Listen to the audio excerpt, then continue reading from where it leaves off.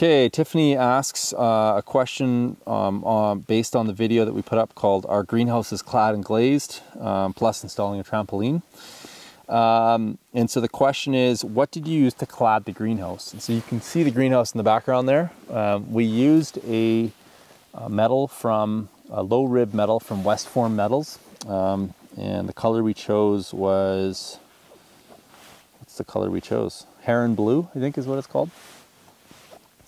Uh, I really like steel as a cladding material. It's fireproof, um, it lasts a really long time, it's recyclable at the end of life, uh, it's resistant to all the elements, um, and it probably never has to be painted again, which is awesome.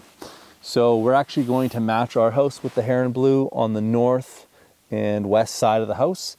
And then on the south side, we're gonna have a greenhouse here, and then we're gonna use uh, wood that we milled up this year uh, with a board and batten uh, siding uh, on all the areas that are sun protected. So uh, it's going to look really sharp, I think. And then I think while we're talking about metal, um, all the metal on the top of the house is actually going to get replaced as well. We're going to use a different product called a standing seam um, metal.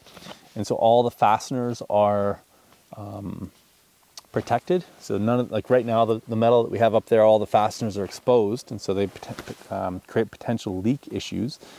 Um, but uh, so we're going to use a standing seam to protect the fasteners, but then we're also going to use a silver metal called Galvalume, which is a galvanized aluminum uh, alloy, uh, which is one of the best materials for rainwater harvesting because we're going to be integrating a rainwater harvesting system into the house ecosystem. Probably somewhere back here, we'll be putting a couple of tanks. So we'll collect all the rainwater and then that will become our primary water use or water source. The well will merely be a backup.